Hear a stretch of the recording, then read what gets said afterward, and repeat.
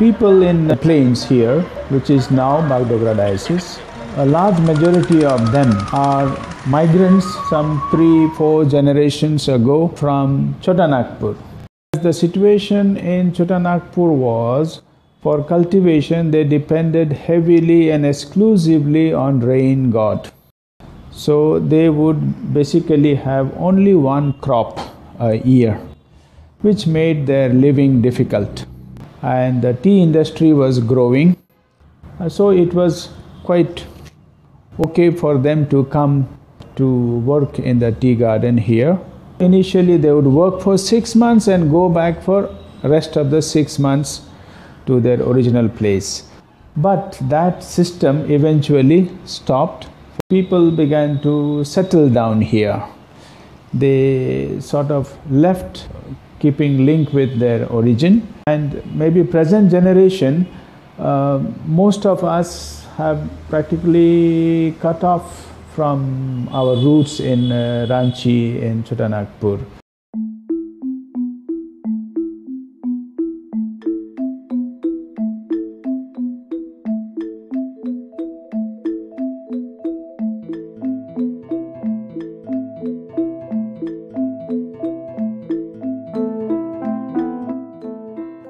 The tea gardens have not really improved their life. For a long time, it only gave them a kind of uh, assurance, a kind of a permanent sustenance. Though may not be making a good living, a very uh, handsome earning, at least one can survive. Only now, rather late, they are learning a bitter lesson that the tea gardens are not that permanent. Tea companies are uh, giving less privileges to the workers. Even the basics like the houses they would build for them, they would repair the houses if needed, they would supply regular water, they would supply medicine, there would be good hospitals. All those are things of the past. And even the so called uh, their uh, wages are not regularly paid economically they are uh, not at all in a best of the lot.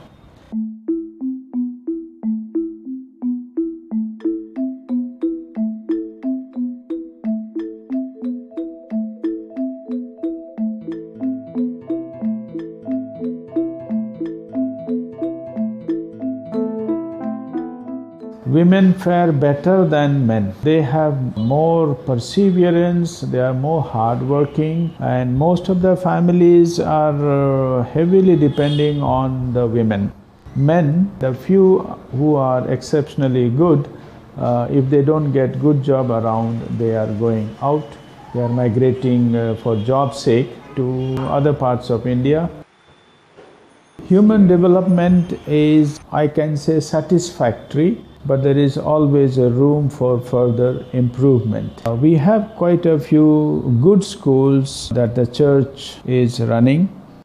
At the same time, the reality is there are many who cannot make it to these good schools also because of the fact that they are mostly uh, located closer to the town than in the tea gardens.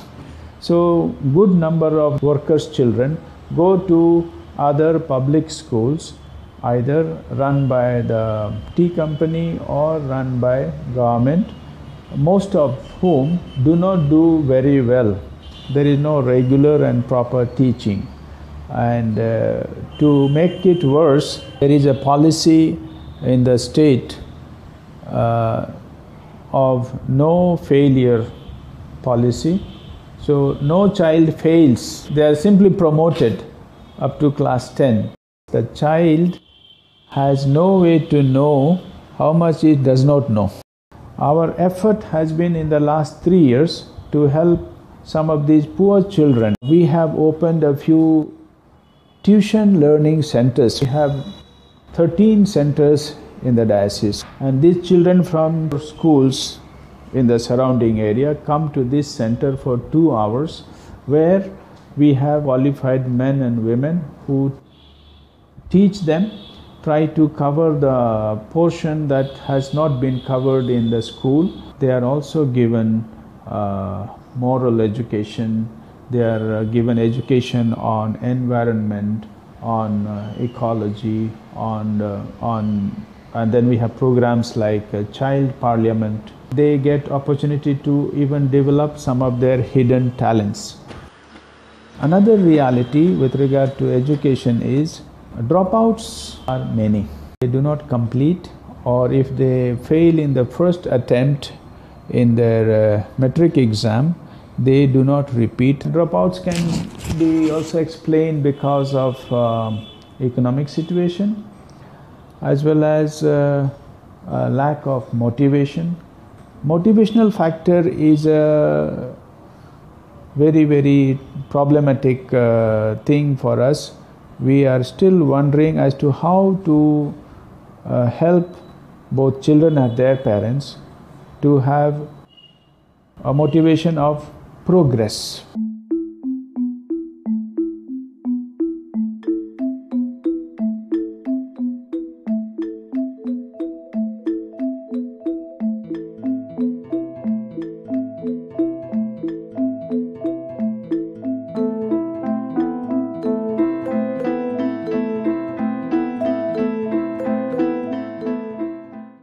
Culture plays some positive role in the sense of keeping them together that ethnicity the the dialect they speak and uh, some of the cultural uh, festivities celebrations uh, these uh, work positively in maintaining them together a sense of belonging is there. Uh, at the same time, it is a kind of a mixed society because of the fact that the laborers are also from elsewhere, not only these, though they are numerous, but they also live together with many other ethnic groups. So there is a lot of interchange, uh, quite a good bit of harmony is there. Yeah. So that way the mutual support in facing the economic reality, the poverty, the hardship, all that is there. I would dare to think we have to seek opportunity here without migrating far away. Uh, while money wise one may earn better, say in Kerala, uh, but there are many other evil consequences of uh, migrating, many, many. Uh, so I would like to think boldly that uh, we have to seek opportunity here